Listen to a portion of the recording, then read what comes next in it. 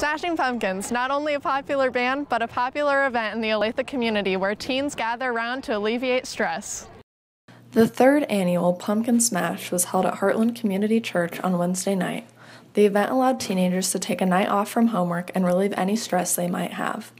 The event going on tonight is a pumpkin smash. We have this every uh, November. Um, this is our third annual one, I believe. And it's an um, event to just kind of, um, yes, it's held at a church, but it's a place where kids and, or teens can have just a great time smashing pumpkins. We just recognize that high school is such a stressful time with, uh, you know, finals piling up, homework, people's expectations. So our goal is that this would just be a time to have fun, uh, be a kid again, and just take out some aggression on pumpkins. While the stress may be high at school, getting involved in activities like these and showing your support for community events allows you to take your mind off of stress and also allows you to make connections outside of the classroom. Getting involved in your local community can really help with uh, stress and anxiety and um, just have a place to share your thoughts and feelings with other people from different schools.